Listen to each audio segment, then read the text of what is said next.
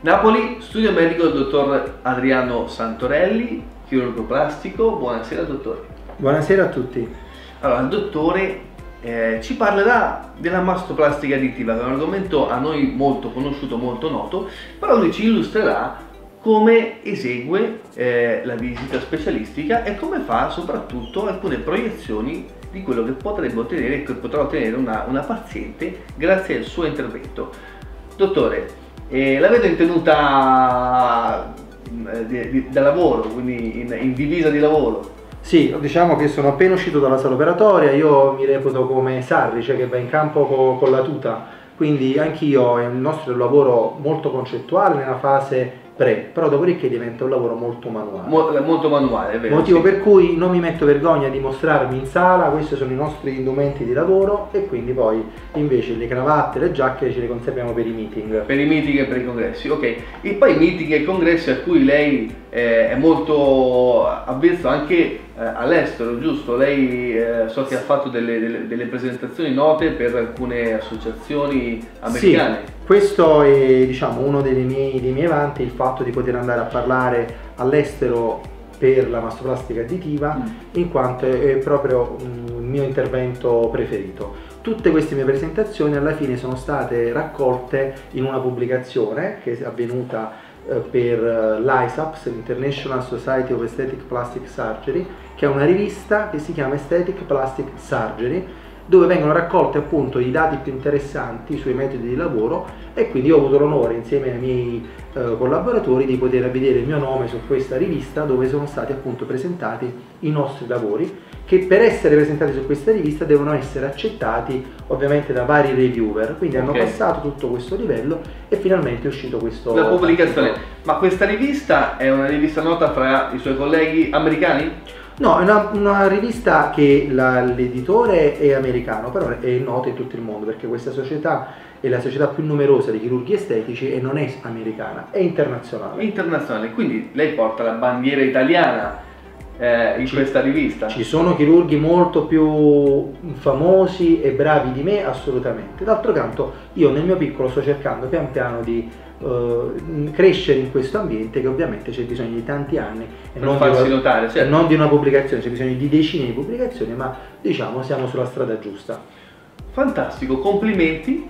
E, allora, mi faccia, io sto vedendo nello schermo, vedo uh, una foto e mi, mi, mi diceva che lei ha questo programma che permette alle pazienti di vedere effettivamente quando vengono a visita e dicono dottore io vorrei rifarmi il seno lei è in grado di fare vedere direttamente la proiezione come se fosse una, una foto. Sì, perché spesso i pazienti vengono con la foto di un'amica piuttosto che di un'attrice famosa. Il problema certo. è che nessun seno è uguale perché la punta di partenza è sempre diverso.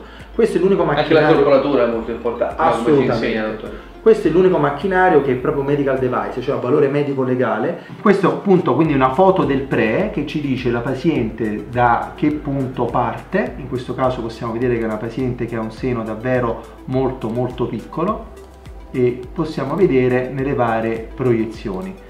A questo punto prima di tutto ci fa una valutazione, ci può far vedere tutte quelle che sono le misurazioni, le proporzioni. le proporzioni e a questo punto su queste misurazioni io posso fare un approccio come chiamo tailored, cioè ovvero di sartoria, cioè precisamente qual è l'impianto giusto per la mammella, senza andare a alterare questi, questi valori, che ci valuta pure l'eventuale differenza come vedete tra un volume e l'altro. In questo caso questa paziente ha solo 9-10 grammi in più di questa mammella quindi è praticamente simmetrico però in altri casi possiamo trovare delle differenze maggiori. Quindi la macchina fa tutto e questa è la parte di programmazione. Poi c'è la parte di progettazione dove io posso addirittura andare a selezionare l'impianto. Facciamo diciamo un impianto abbastanza esagerato e andiamo a valutare come viene tale impianto. E vediamo che come per magia il seno comincia a crescere. Andiamo prima di tutto a posizionare quindi normalmente noi andiamo a posizionare gli impianti leggermente più in basso quindi facciamo anche un risultato più credibile quindi quello che normalmente avviene in chirurgia. E a questo punto andiamo a vedere se abbiamo avuto il risultato sperato. E vediamo che pian piano stiamo prendendo una forma. E vediamo in tutte le proiezioni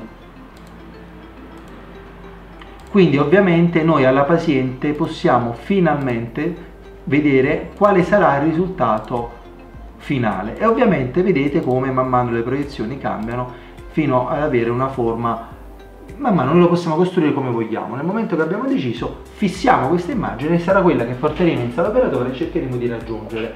Molte volte la raggiungiamo molte volte addirittura la superiamo perché ovviamente questa è una simulazione ma noi riusciamo a fare anche certe volte qualcosa in più un risultato più naturale e più bello Perfetto, ma se per questo la paziente fosse troppo grande, allora noi proviamo una protesi più piccola e lei facilmente può decidere. In sala operatoria questi diventano gli strumenti, come si vuol dire, del mestiere dove a questo approccio meccanizzato si associa un vecchio centimetro e un pelicometro che ci consente di prendere le misure al millimetro. Tutto viene riportato su questa scheda e dove alla fine ogni paziente avrà le sue valutazioni.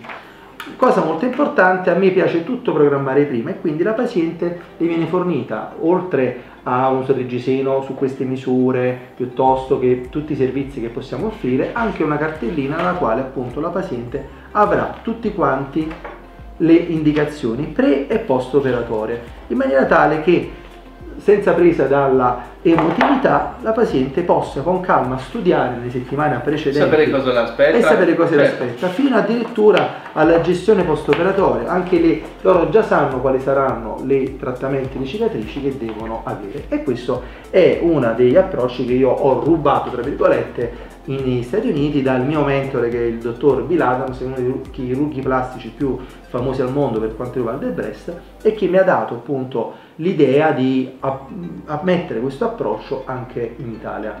Dottore, se abbiamo detto tutto riguardo al suo approccio per la mastoplastica? Se, secondo me sì, rimane ovviamente il consiglio di affidarsi a chirurghi specialisti perché sappiamo che è una materia che possono fare varie specialità, ma coloro che hanno fatto la formazione sono gli specialisti in chirurgia plastica, ricostruttiva ed estetica che vengono definiti anche quindi chirurghi estetici. Quindi questo è un monito alle pazienti di andarsi a informare bene qual è il loro medico di riferimento a cui vanno a fare le visite perché non sempre coloro che sono i più famosi, più noti, più social di contro hanno un percorso di formazione adeguato. Bene. Come sempre raccomandiamo di andare solo dai professionisti, cercate eh, tra cui di infoestetica e tra cui c'è anche il dottor Santorelli e a presto con un altro video di infoestetica. Arrivederci.